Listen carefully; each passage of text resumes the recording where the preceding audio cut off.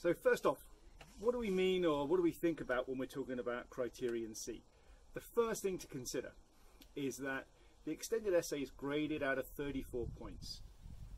12 points are dedicated to criterion C, which make it by far the most important criterion in any of the criteria applied to the essay. So for any student to succeed in the extended essay, you must do well in criterion C. You can do relatively poorly in the other criteria and still achieve well, but you cannot achieve the highest grades in the extended essay without doing well in criterion C. In fact, I know this probably isn't the best way to start this, but I'm going to start with a cautionary tale because I'm going to take this from the examiner reports that have come out and guidance to examiners. There is a statement that says for an inappropriately configured World Studies extended essay in Criterion C, the maximum score you can achieve is 3 out of 12. Now that's a, a massive blow to any essay. So any essay that isn't configured correctly from a World Studies perspective can only score 3 out of 12 for this criteria. Keeping in mind that the criterion boundaries are only 5 or 6 marks apart, a 9 point hit, so from 12 down to 3, would effectively take you down at least one grade and possibly two grades just on whether your essay is configured correctly in a world, in a world studies context. So, what we need to do first then as a supervisor or as a school or as a student in this particular in this particular essay category is to make sure that the essay is correctly configured. So what does that mean in an, ex in an extended essay in world studies? Well firstly it must be about two subjects and they must be IB subjects so you can't just say for example I'm going to look at uh, an issue that is about law or about education, shall we say. Neither of which are IB subjects. Yes, they might be very worthy and very valid in terms of study, but unless they're two IB subjects, your essay is not going to be correctly configured. So the two subjects you choose, you've got to do a couple of jobs before you go too far. The first one is you've got to state what those subjects are. You've got to say why they are necessary in the evaluation of the research question that you choose. So you've got to justify them. So in the early stages of the essay, in the introduction, you've got to be really clear and say, I'm going to use the lenses of geography and biology, for example. And you've got to say why you need to do geography and biology and why either one of those is insufficient to analyse this particular topic on their own. They also need to be used throughout. It's not enough in the introduction to say I'm going to do a geography and biology essay and then spend all of your time doing biology or all of your time doing geography. They've got to be integrated and they've got to be used, or the lenses from those two subjects have to be clearly referred to and used throughout the essay. The second thing, in terms of this configuration idea, it must be contemporary. So the issue must be contemporary. That means within the student lifetime. For our students, our current seniors, you're really looking, the essay must be about an issue that has occurred in the last 17 or 18 years. So it's got to be post 2000. Anything before that isn't valid for a World Studies extended essay. It might have a historical component, it might be as part of its background, there are elements to this that begin beyond that period of time, that's okay, but the key focus of the essay must be within that time frame. Thirdly, it must be an issue of global significance. That's, I realise, a little open to interpretation, but how do we say if it's global significance? Well, are people out there talking about this? Is it in the media? Can you find elements and articles online discussing this particular question? If so, it is, it is of significance. It can't just be about one place, one country, one issue. It's got to be globally significant, and that's important for a student to identify. And possibly the most difficult of these in the World Studies essay is can it be effectively evaluated and analysed in 4,000 words? So it's got to be an issue of global significance that we can scale down to a place of 4,000 words being an effective evaluation of that particular issue. That's a really important thing for a supervisor to do. For a student, that's a very difficult decision to make. But for a supervisor, you've got to be able to look at the problem or look at the issue and look at the question and say, yes, we can scale this down. Yes, we can. and we can do this within 4,000 words. If you can't, you're going to be dead in the water from the very start. So let's have a little think first about what do we look for in Criterion C to avoid some of these incorrectly configured concepts that the examiners look for. Firstly, I mean everyone, you as a supervisor and your students ideally together or in some combination, you go to the IB EE dedicated website. It's the place to start. It gives you lots of guidance. It gives you lots of examples and things to consider. For Criterion C, there are some fundamental questions that you need to be able to answer, or really your student needs to be able to answer, um, when they're considering their essay. And if you read the essay, you should be able to see these and identify these fairly easily. One, does your research question relate to the evidence? So, the research question that you start out with, with your student, your student starts out with, and the evidence they've collected, do the two gel? Or have they created one question here and then gone off on a tangent and collected a whole load of other evidence, but the two don't weave together? It's important that there is a consistency and the two work together. Second, are the different elements of the essay connected together logically? Does it flow as an argument? Does it flow as an investigation and a piece of research? One of the dangers in a world studies essay is that you're using two subject lenses and that you end up with two very different essays, kind of just joined together. They do a bit of geography or a bit of biology and the two live in separate worlds. It's important to make sure these are connected logically. Three, are the analysis and the conclusions obviously linked? So is there a clear analysis that takes place and does it take us to a clear conclusion? And in the conclusion, can I identify what analysis has taken place beforehand? And three, is there a, oh, sorry, not three, four, is there a clear thread of reasoning? So one of the key factors of criterion C is it's the place of critical analysis. There must be a clear set of reasoning from point A to point B to point C to conclusion. That should be an easily identifiable thread all the way through. And as a supervisor, your job is to make sure that the student's work isn't just this hodgepodge of ideas or research all thrown onto the page, but it is distilled down into a clear step-by-step -step argument and set of reasons that take us to a point of conclusion which is logically consistent with the reasoning, analysis and evidence that you've collected. Criterion C specifically relates though to critical analysis and that's the key. So what do we mean by critical analysis? So from this criterion's perspective, critical analysis refers to, uh, I think, kind of five things really. Firstly, how appropriate are the sources and methods used?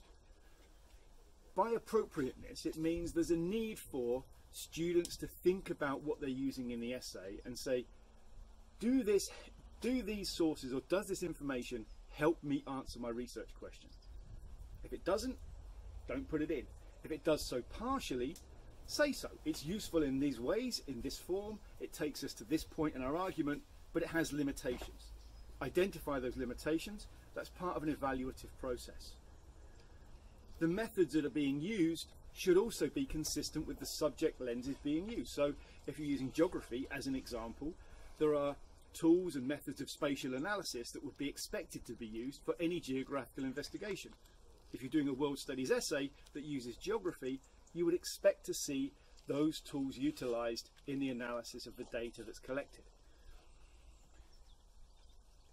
Is the data, this is the second point, is the data collected evaluated or is it merely described? So analysis and evaluation means that you've got to have you're going to go way beyond this idea of just describing what you found. So you can't just go out and do lots of research and then take snippets out and just paste it into a page and hope that it comes together. There's got to be the student voice, the student analysis of what takes place. How useful is it? What are its limitations? How valid is the evidence in answering that research question?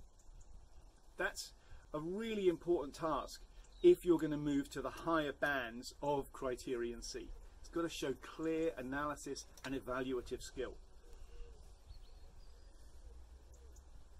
What are the limits of the arguments being put forward? The student themselves must be able to say, right, I've answered this question, but let's be realistic. Most issues of global significance are not going to be solved in 4,000 words.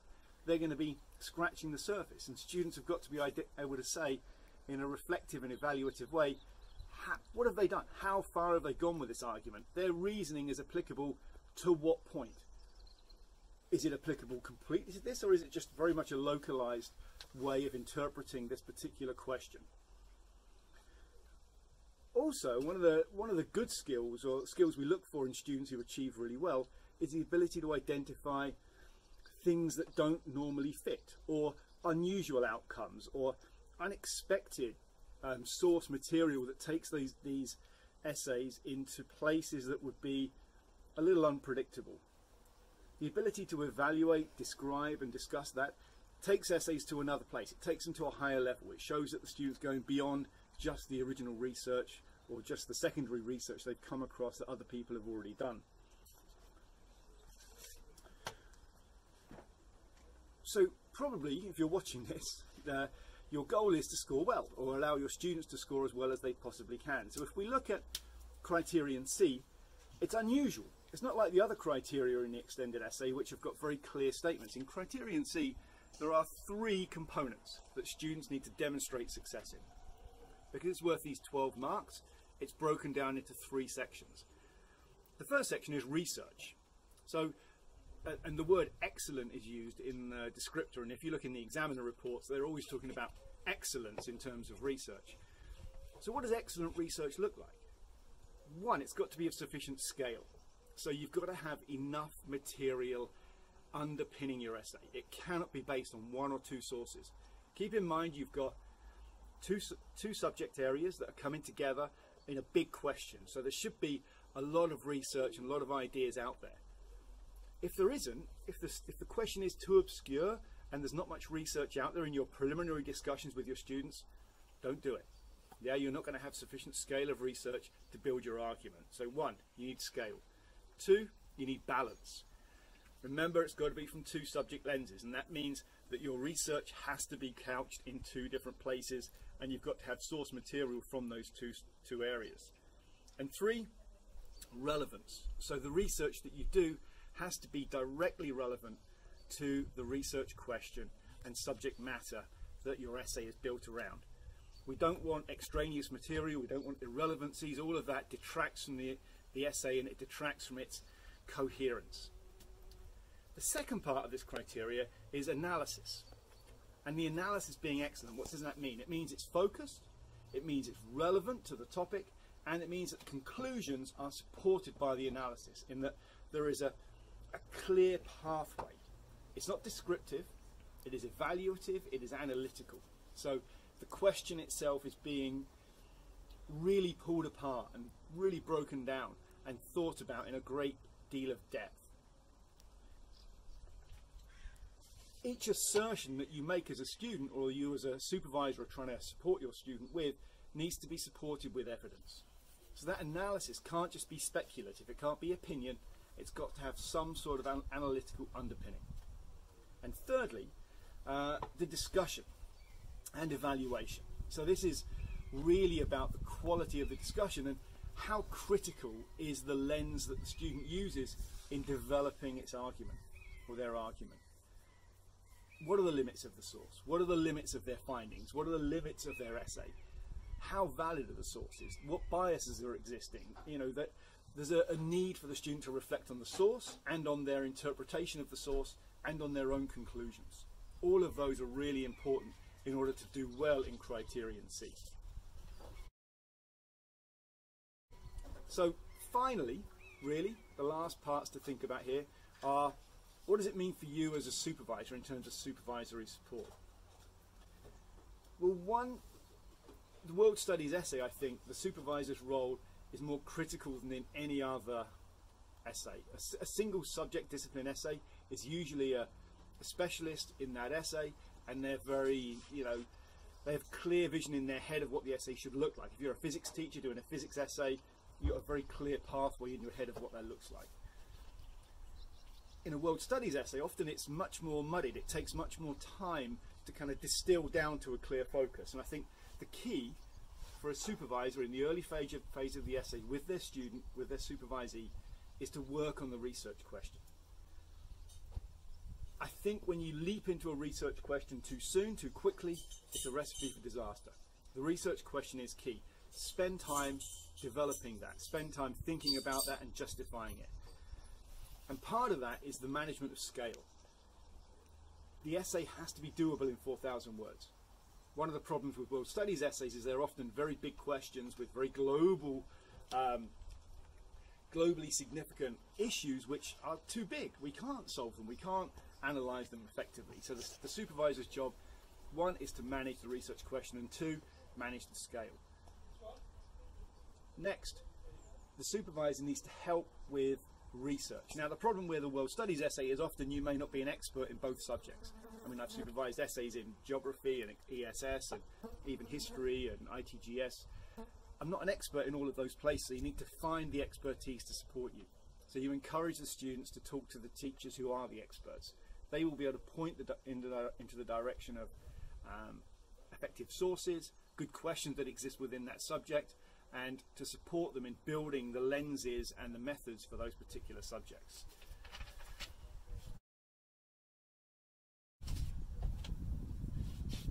Finally, check this. I know there's a lot of information. I realise I'm talking at you for a long time, but the final kind of checklist of things to do. In the early phase of a world studies essay, you've got to meet your student every week.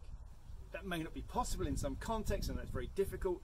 In my head, in the early phase to make sure the research question is nailed down, that your justification for the validity of your essay is clear in your mind and in the student's mind.